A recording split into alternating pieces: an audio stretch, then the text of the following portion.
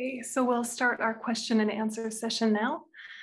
So just take a moment and reconnect with your motivation and reground yourself.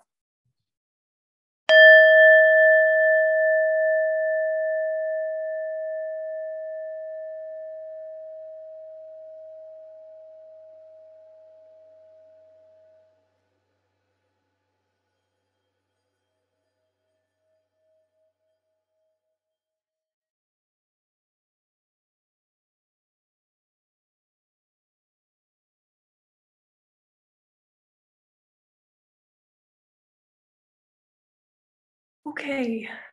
And um, I wanted to, before I forget, tell you about a book that was very recently published that is kind of my new favorite book about Mahamudra. It's so clear, it's so beautiful. Um, it's called Mastering Meditation and it's by His Eminence Chöden Rinpoche, who was, um, as you guys know, one of my greatest teachers who passed away a few years ago. Um, the translators and other students finalized some transcripts um, from his previous work. So it's all about Mahamudra meditation, as well as Shine Shamatha and bringing everything together. So mastering meditation. Um, okay, so the first question was related to one of the morning meditations and how to stay grounded if we're detached from thoughts. And I don't know if I'm paraphrasing it accurately, but it, uh, words to that effect how to stay grounded. Um, and there's a few ways. Um, one way is Yangsi Rinpoche recommends doing a round trip meditation yeah, a round trip meditation, which sometimes I do um, as well. And sometimes I've led you guys through as well, where, you know, you do body, breath, awareness of thoughts, more awareness of clarity of mind, and then back to awareness of thoughts, back to awareness of breath, back to the body. So you kind of do a round trip with your meditation. So you finish with body awareness, you know, of course, your dedication, but you kind of re-center yourself in your physical experience before you stand up and go into your in-between session time.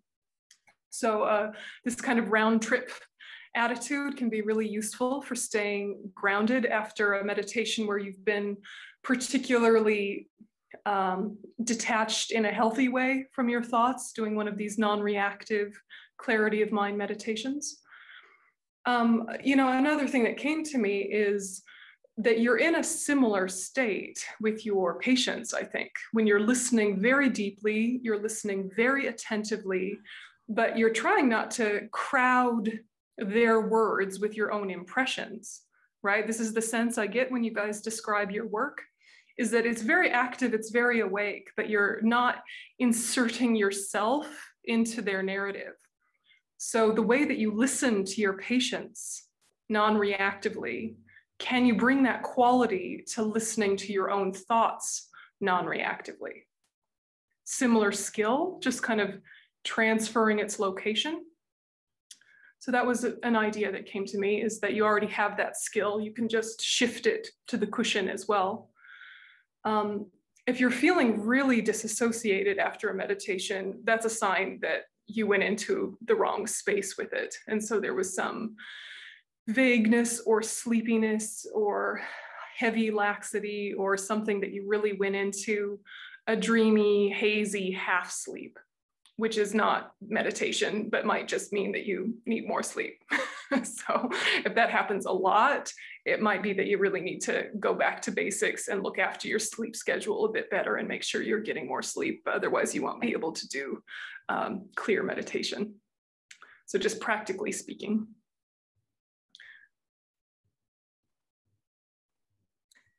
Yeah, any follow-up thoughts from the leading committee about that?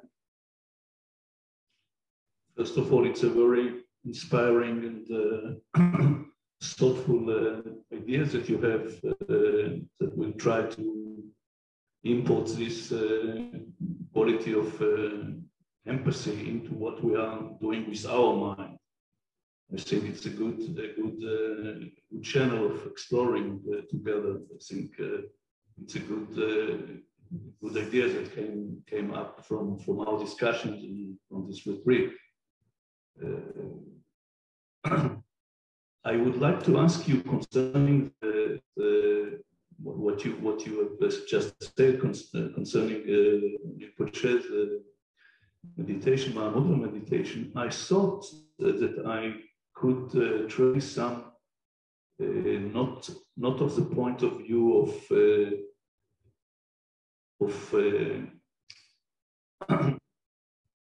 of what we are looking at, but the way, the mode of, of looking, of observing. And I thought that I had traced uh, some some way stations in what he said uh, during the during the meditation. I wanted to ask you if I'm if I am uh, relying to something valid uh, in your in your eyes. I thought that the first uh, first point was focusing, and then abiding, and then going beyond, and then a non-dual dissolving, dissolvement. So I thought that this is something that I took from this uh, first uh, listening, and I'm of course going to listen to it again and again and again. But could you refer to what to this uh, tentative impressions that I got? Yeah, I, I think it's a good it's a good summary of Lama Yeshe's advice. And you know, we see this with Lama Yeshe that he gave very advanced instructions to very new students in very simple language. And it, it, you know, like he would just throw them right in the deep end with Mahamudra, with highest yoga tantra, with all sorts of things with very little context and just say, do that. And he would even say, now have a non dual experience, go. like as if you could just be like, oh, okay, you know, just have a non dual experience, go for it.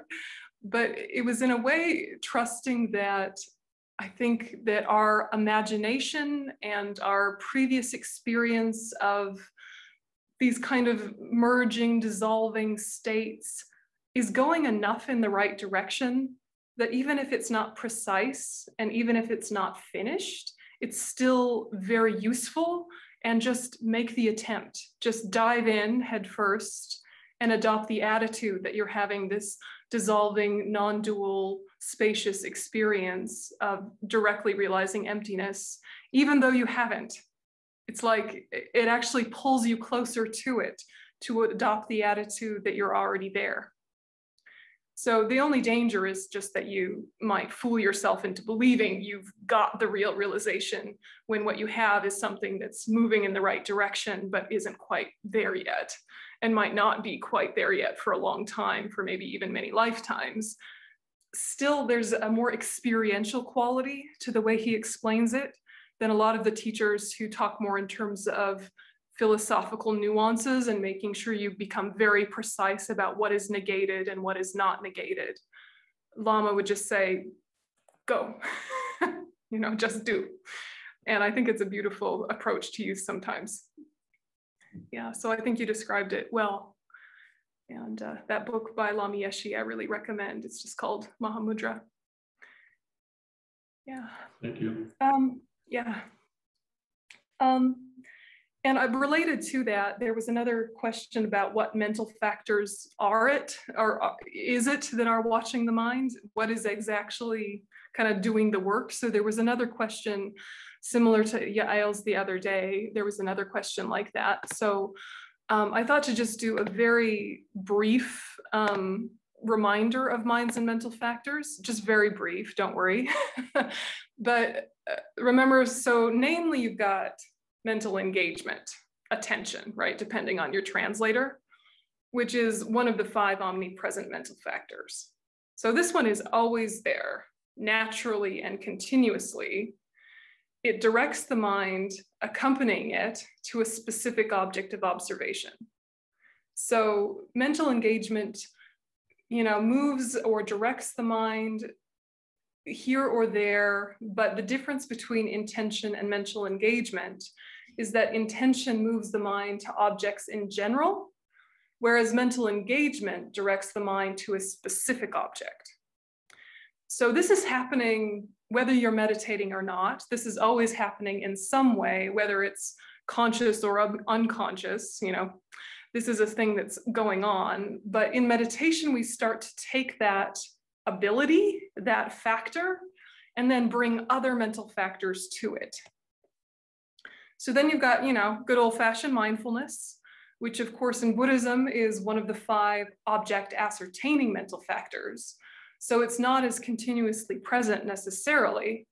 And it just means non forgetfulness with respect to a familiar phenomena. It has the function of causing non distraction. So, of course, mindfulness can be reinforced and stabilized by things like introspection, things like that. But basically, you're attentive to an object and then you're not forgetting the object. You have it and you keep it, or you keep coming back to it. And then you have concentration itself, which is, of course, translated sometimes as stabilization or absorption. It's that word in Tibetan, tingizin. And it's also one of the five object ascertaining mental factors. And this is like specific one pointedness of mind with respect to an imputed object. And it has the function as serving as the base of knowledge, special insight. So this kind of one pointedness is needed, particularly when you're developing calm abiding particularly when you want this really powerful concentration that then can bring special insight to it and not be disturbed. So when we're doing a clarity of mind meditation, you find the mind, you don't forget the mind, and you become single pointed or one pointed on the mind. You might have other mental factors join in and help. Um, you've got investigation, which is, you know, one of the four changeable mental factors, can be positive, can be negative. Hopefully, when you're meditating, it becomes the positive form. So this is just an inquiry into the rough entities of objects as well as their names. And then, of course, analysis itself, which is a fine discrimination of objects as well as their names. So general and specific the point of all this is a lot is going on. a lot is going on, and you don't have to be too concerned about who is doing what. Your main concern is are you awake? Yeah, are you present? Does your focus have that quality of kind of like brightness and vividness to it? I think it's useful to know the, the background mechanisms of how the mind works, particularly how the mental factors direct the mind. I think that's very useful. And then when you're actually meditating, don't worry about that knowledge so much. You know, it's like you workshop that in between sessions on the cushion, stay bright, stay alert, don't indulge your distractions. That same basic advice pervades. You get distracted, you notice you're distracted, you come back, and you come back, and you come back. So I don't know if that helps clarify or if it um, reminds you of a bunch of study that you need to review because it's been so long since you did minds and mental factors. But um, anyway, slowly, slowly. Um, there was another question from the same person and um, I'm not 100% if I've understood the question correctly. So if the questioner um, needs to clarify, pop on up. But they say, about thoughts as dreams, as Pema Chodron says, isn't it that they are dreams only if we forget that they aren't solid, inherent, existent, inherent nature? So the question seems to be saying, aren't are things only dreamlike if we're confused? or we believe inherent existence. And it, you know, it's kind of going, it's going in the right direction, I think. But when we say things are dreamlike or illusory or don't exist in the way that they appear, that's true whether we understand about emptiness or not.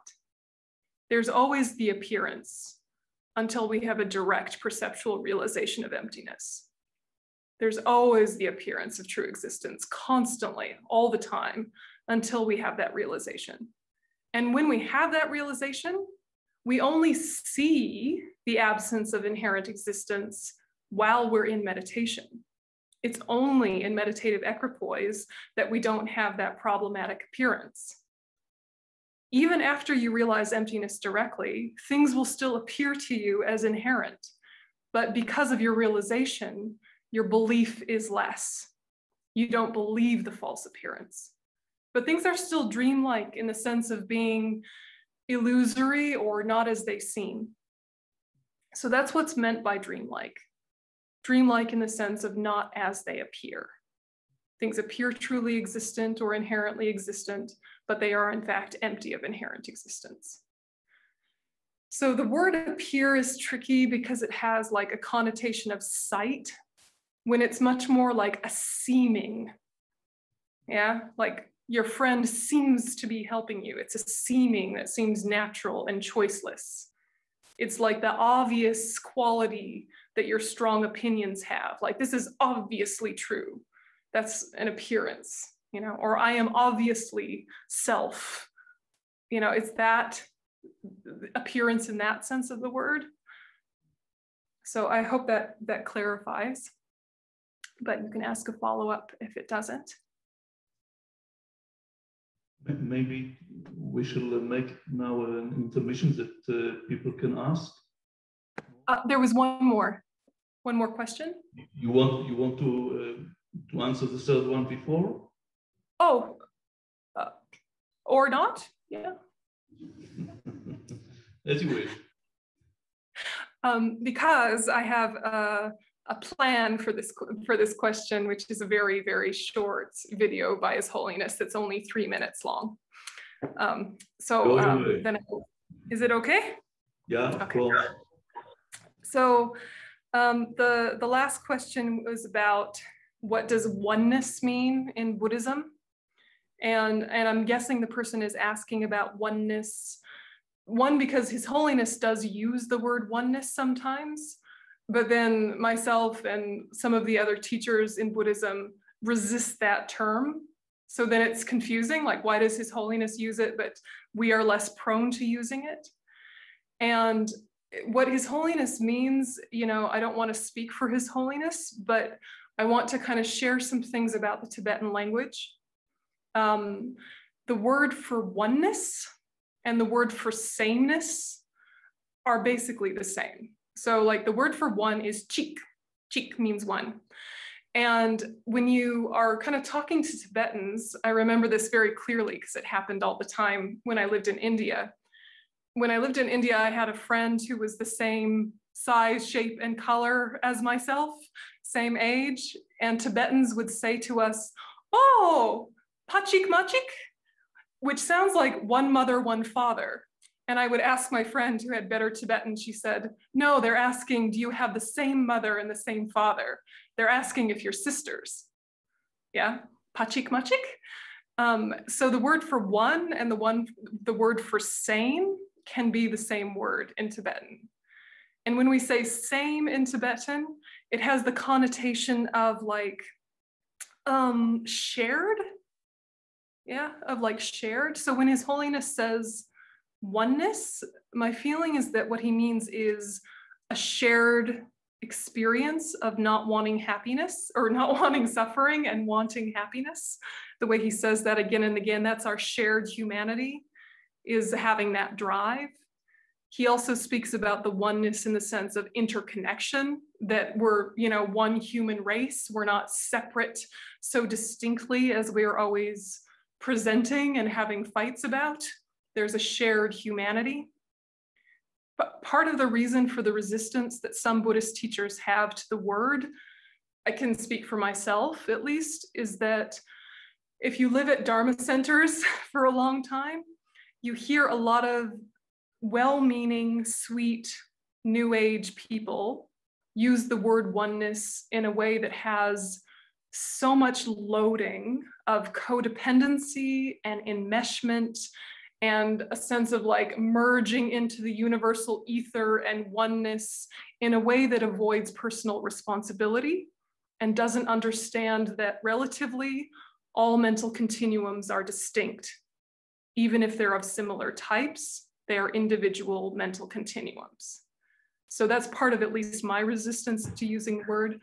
But um, let's listen to what His Holiness says, just because it's always nice to hear what His Holiness says. I think many problems which we are facing is actually we emphasize secondary level of differences, religious, different religious faith, different nationality, different color, within same religious believer and same color, rich and poor, like that. So, uh,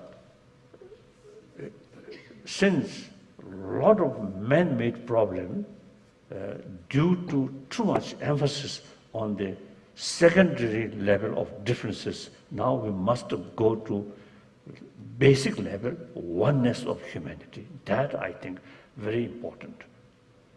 When I give you talk, when I meet you, if I feel, I sort of, sort of keep some kind of feeling I am Tibetan, I am Buddhist, then that mental state itself distance from you.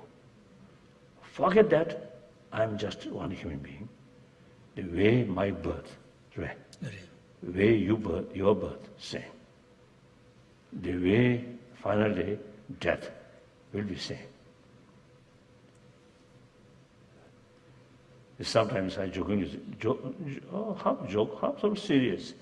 when we passing through as a cemetery right? Yeah, cemeteries. Cemeteries the lot of sort of cemeteries. That's our final destination. Uh, we have to go there. Rich or poor powerful or because the poor everybody young young. So no yeah, eventually you also have to go there. So nobody can escape right? escape. Uh, even buddha uh, from Buddhist viewpoint, Buddha also, you see, went that way. Jesus Christ also went that way. Muhammad also, you see, kind of went that way. So therefore, it is our, whether we like it or not, it is our final destination. So when that destination is reached there, money, no use, fame, no use, power, no use, weapon, no use. What sort of, what thing bring us tranquility at that moment? Our life spent, meaningful life, serving, helping other, not harming other. Then at that moment feel very happy. That's very important. So, like he says, um, are there any other questions? About the oneness, it's uh, about the, the objection to the word. It's also, I think, I uh, would like to know if it's right uh, because we are in the uh, procedure of negating uh, uh, the, the object inherent existence, one of the levels is refuting the being one with uh, the aggregates. So the oneness can be confused with this uh, aspect. Yeah, yeah, definitely. That that's one of the pieces. Yep. Exactly. There there can also be a sense of like um oneness like you come into your own oneness like i don't know maslow's hierarchy and you're at the self-actualization and now you are a giant spiritual eye of oneness you know and it can get kind of a scary ego-y vibe to it. Um, so i don't want to you know not you know don't say you know don't use that word because of course how his holiness uses it is so beautiful and the way a lot of you use it is really beautiful i think it's just a matter of knowing in the back of your mind that word like so many words means something very specific to the individual saying it. And so it always needs a little bit of context. You know it's like saying what is zionism? What is feminism? You know it's going to have like a million definitions. So you know make sure you know what the person is talking about when they use the word. Make sure you know what you're talking about when you use the word. Yeah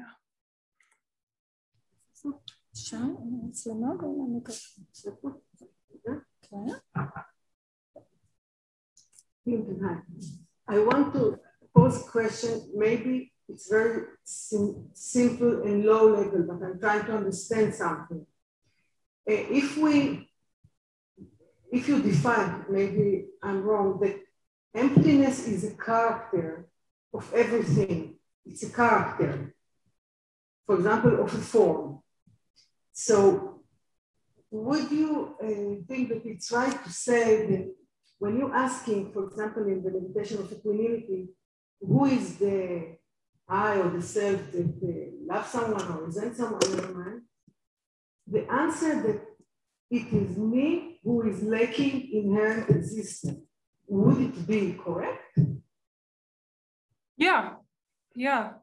It's like you go, it is me who lacks inherent existence, you know, like two yeah. beats of pause, you know, you feel the me arise and then you release that concreteness. And if you release the concreteness, the attachment can dissolve, but the love can remain. Like that, yeah. So it's like this how do you find the non finding? And so a lot of, you know, rhetorical questions and open questions and investigative questions are presented to kind of like click you into finding the non-finding of inherently existent self which doesn't imply anything in its place. Yeah, yeah, so yeah, as you said.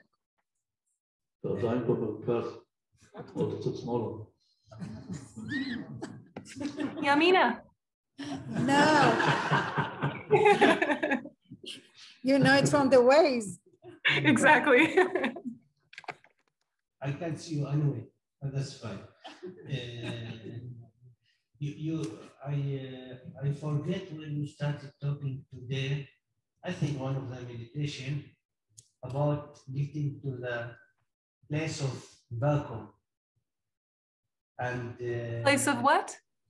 You, you, you started talking today of the situation where we got by Mahamudra and uh, contemplating the mind through mind to the vacuum place, to vacuum. Vacuum.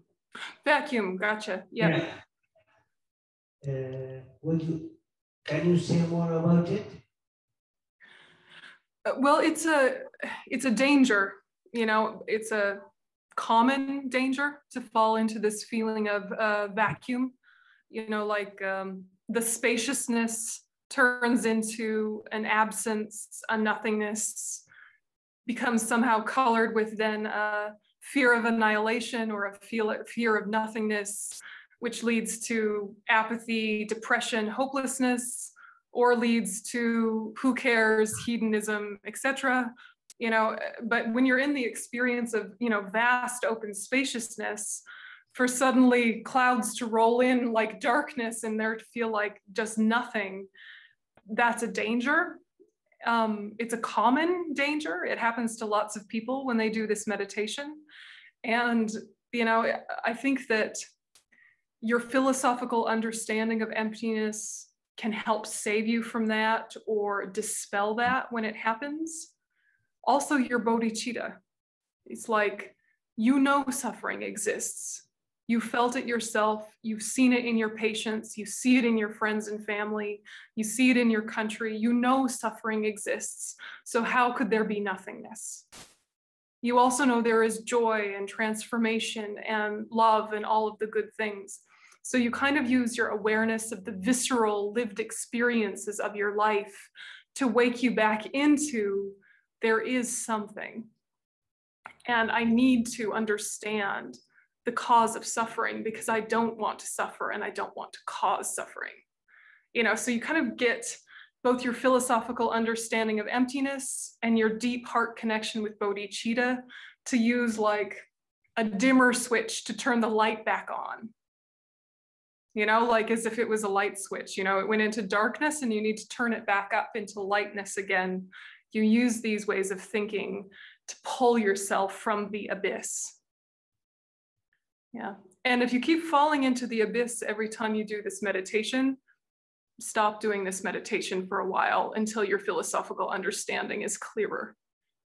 Yeah. And just do, you know, single pointed meditation on something maybe luminous and visual like the Buddha, or something grounding and physical like the breath um, and, and say, I'll come back to clarity of mind, which evolves into Mahamudra later when I understand it better, or maybe when I have more merit to be able to touch it without as much danger.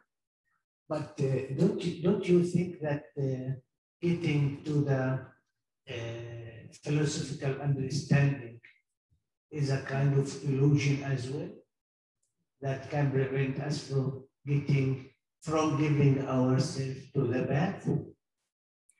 I mean, it's possible with all conceptions because all conceptions have, you know, a difficult quality to, to them, but you 100% need your conceptual mind to move into a perceptual experience.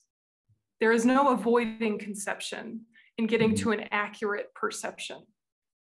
So you know that it's not perfect, you know that it's not finished, you know, what is the analogy in the Zen tradition? You know, the finger that points to the moon makes you look up at the moon, but it's easy to get lost in just the finger.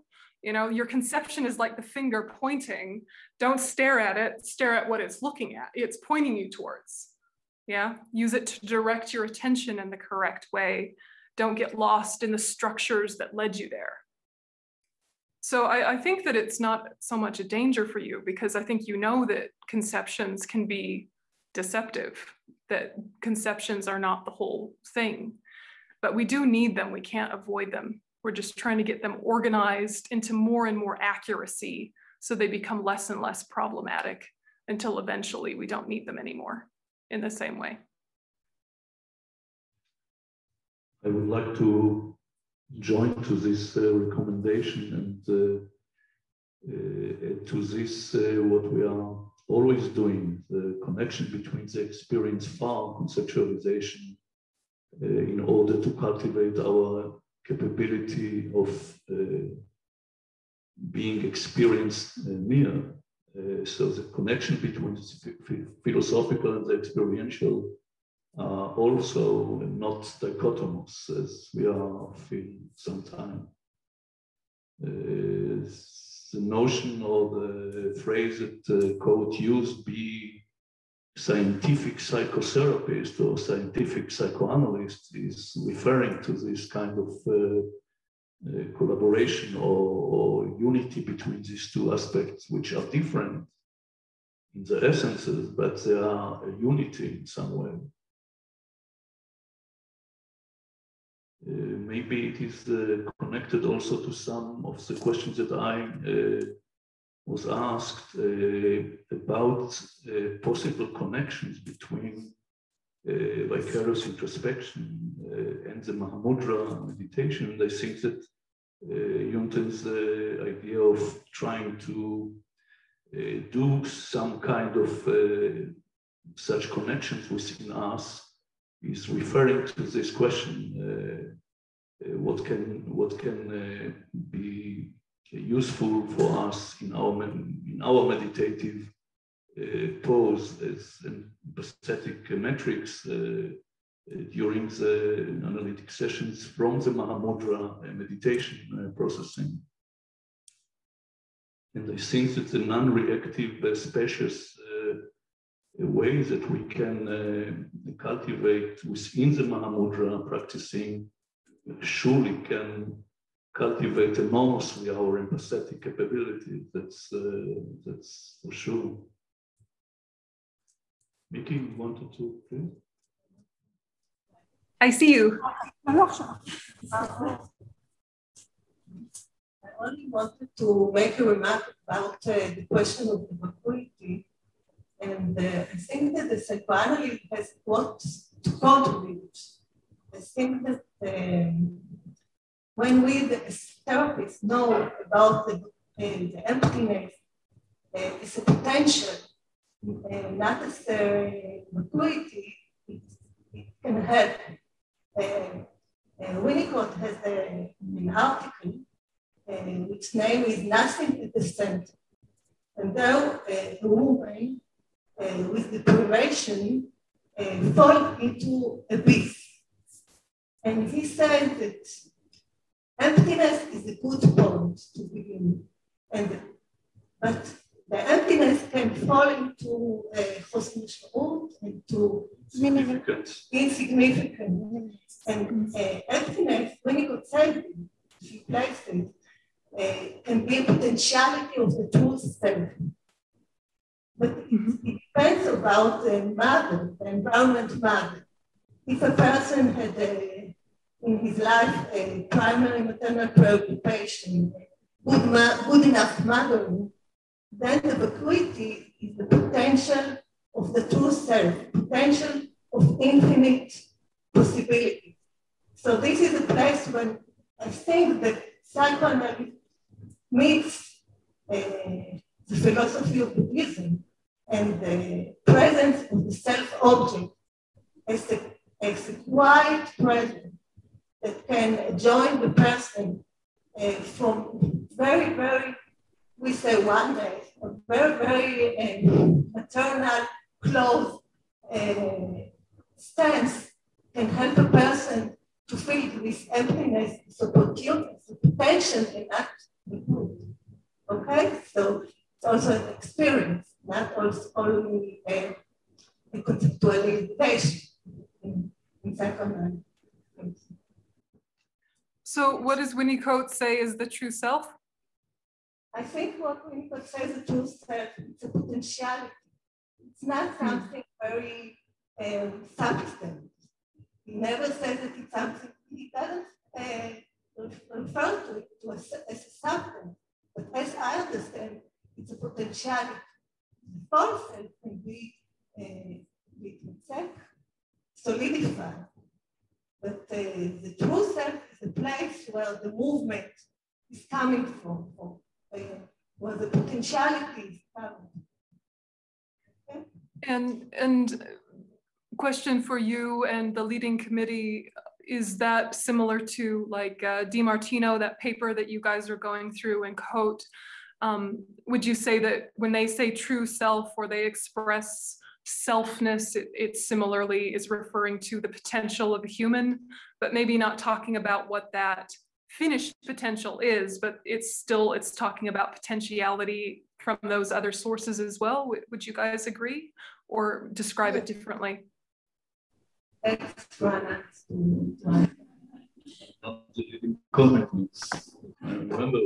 Okay, you can be a, represent a representative. The short answer is yes. The long Raanan will give you. Uh, other questions? yeah. Okay. Abigail. Hey. I have a question. Actually, I have a little story to ask, a little story that is uh, confusing me for a while. Uh, just before the coronavirus emerged to our life, I went to the post office. And uh, there was a very long line of people waiting there. And uh, I was waiting with my pet. And suddenly someone um, approached towards me and asked me, asked me, are you the daughter of the librarian? And I said, yes, I am. And then she said how my mother saved her life. She was a very, um, she suffered with uh, from um, um, learning disabilities. And I thought to myself, uh, she's talking about something that happened 35 or 40 years ago. I don't know her name, she doesn't know my name. And my question is uh, what, uh, from the Buddhist um, um, point of view, uh, what, what was it that she recognized in me? Yes, it's not only that she recognized me, she recognized my mother in me. Um, and you know, I have changed uh, pretty much since then. and uh, the second question is, um, um, okay, I, will stay with the first one and then I will uh, call the other one. well, I mean, of course, you probably recognize genetics, right? you probably look like your mother, right? But um, but more than that, you know, I know basic answer, but um, there is, and there's, you know, familial movements that we mirror in each other. So of course, all that ordinary science stuff is true and Buddhists believe it's true as well. The other piece though can be karma, obviously, but karma in the sense of like, with lots and lots of familiarity with people, it's like there's a, a, type of recognition or magnetism between people where you have a more immediate impression that seems closer to their conventional reality than your immediate impression of other people. So you have this kind of immediate impression of, I recognize you somehow. I know you somehow, even though you're new to me. And I feel that it's just one mental continuum meeting another mental continuum now you're in two different bodies, but you were recently around each other. So generally we just say familiarity. Yeah, so, you know, in this life, you didn't know each other, but recently you did. That could be one reason. Sometimes this happens, yeah. What yeah. was it that, uh, that uh, wasn't changing in me? I mean, something hasn't changed for a long time. Well, it's changed, but it's stayed of a continuum, right? Like, don't think that things have to like burst into existence and then fall completely apart, like a flower blooms and then it dies. You can have similar traits for many, many lifetimes, but that's not to say that you're the same for many lifetimes. You know, there's a continuity that changes moment to moment, that adjusts in response to many stimuli, but there's like a pattern that's recognizable. You know, if you go to your favorite creek, you know, your favorite river when you're a child, and then you come back to it 30 years later, you will recognize things about it and the landscape and the things. But you know it's changing every second because water is moving and there is erosion and plants are born and die and whatever. But what you're recognizing is not the core essence of a river, it's a pattern of continuity. Thank you. Yeah. yeah. But it's a nice story. Did you have a follow-up question? No? Okay. Dory? Hi. Hi. so, um, to translate it, there was a moment in the meditation of clarity of um, mind that about uh, five minutes. It's, it's rare, rare for me. I didn't see thought, and uh, I saw something uh, between obscurity and lighter.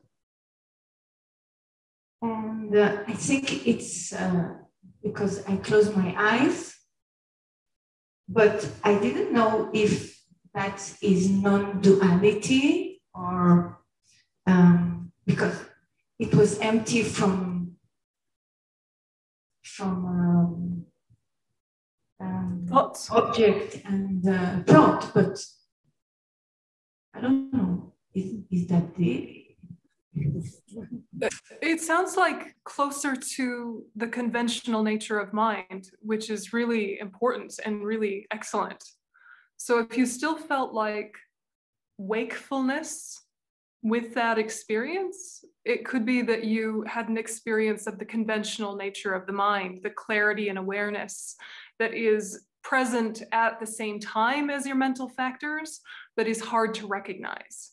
So if you can be in that space that you found, be in that clarity and that openness, and it can be imbued with your philosophical understanding of emptiness, not with like strong analysis in that moment, but just from what you remember of your study, whatever little taste of emptiness you have, if you could kind of bring that to that experience and then let go again, it might be something closer to non-duality or closer to understanding of emptiness. So it's it's a really positive step. It's hard to know because I have no clairvoyance. I can't see in there what what happened, but it sounds like it's going the right direction. So non-duality, it's like uh, nothing in the in the in, in what I see. there is nothing. No, no, no, it's duality. Uh, non-dual, non-duality is not nothing. Non-duality is the disillusion of subject and object being so concretely distinct. So it's a subtle point, but you know, it's it is an absence in a sense, but it's not a void. You can feel like it's it's difficult with words, isn't it? Because it, it does start to sound like we're talking about nothingness, but it's much more a dissolving of concreteness into spaciousness where subject and object are not so concrete. Yeah. Hey, Michal. Hello, I wanted to ask you about um, if you can clarify the difference between compassion and love. And as I understand, as a therapist, I'm trying to cultivate uh, wisdom and, com- and compassion. And I was um, um, confused because Raanan read us the beautiful teaching of the Buddha about the love, uh, uh, love sutra. Oh, the Metta Sutra, yeah. Mm-hmm, mm-hmm. the thinking in love with uh, the, and the deeds, deeds with love, and the third one in the middle. Sorry, I don't remember right now. And so I wonder. I would like to understand because, as I understand, I can. I don't try to cultivate love. That's a byproduct. That's a product. So maybe I'm not I would like to understand. Yeah, it's a good question. I, I like it. Um, you know, uh, we have to start with the technical definition because we are the Gelugpa tradition and that is our way. but, um, you know, compassion, the wish for others to be free from suffering, or the wish for all sentient beings to be free from suffering. Love, the wish for all sentient beings to have happiness. So, you know, in words, those are the definitions. In terms of experience, eh, the words really help because compassion is not kind of raw empathy in the colloquial sense of the word. Maybe it's empathy in the psychoanalytic sense of the word, but it's not just being with someone suffering. It's not just holding the space for someone suffering or wishing them freedom from suffering in a kind of passive, I hope it goes better for you kind of way. It's awareness of suffering with awareness of the potential for freedom. So, to wish all sentient beings free from suffering, you have to be able to see suffering and acknowledge the potential for freedom both simultaneously, which is why there is no such thing as compassion fatigue if it's actual compassion there's certainly empathic distress. There's certainly burnout. There's certainly just regular tiredness. But if you're actually in compassion that can bear witness to even the worst suffering, while still holding the fact that suffering is not the nature of the person who has it, suffering is not their ultimate reality, that their final potential is to be free from that. And no matter how bad it gets for them, they cannot ruin that potential. Their potential for freedom is always present. So it's in a way holding, I don't know if this is the wrong way to express it using your guys' language, but maybe it's like somehow having both mirroring and idealization simultaneously. So yeah, you're mirror- like this. So for us, we have to use them as separate skills, kind of alternating, but maybe eventually they can merge or become together. Um, when we're tired, when it's hard to see someone suffering, I think it's because we've forgotten their potential for freedom or we've invested responsibility that is the wrong type. It's like, in one sense, we're responsible for the welfare of all sentient beings, but that doesn't mean we're all in their business trying to fix stuff. It means an open, expansive, I am here for you. Sometimes that is directly applicable, Sometimes it isn't. I hold open the space of I care for you. And if the tools I have to offer are useful, take them at any time. If they're not, I am still here and present. I don't resent you for not using them. I don't feel bad about myself for not having more of them. I'm just here, you know? So with love, you cultivate it in, in many ways. Sometimes understanding compassion is easier because suffering is more obvious. But what is happiness exactly? And how do you wish people to have happiness? And it requires a little bit of thinking about karma. You know, the substantial cause for happiness is positive, constructive behaviors. They're a benefit. That's the substantial cause. The, co- the conditions, however, are so varied. You know, what is a condition to water and ripen one person's seeds for happiness can be very different than someone else's. So it's it's a delicate thing, but I think mostly we're trying to give people our conditions for happiness rather than looking at the substantial causes.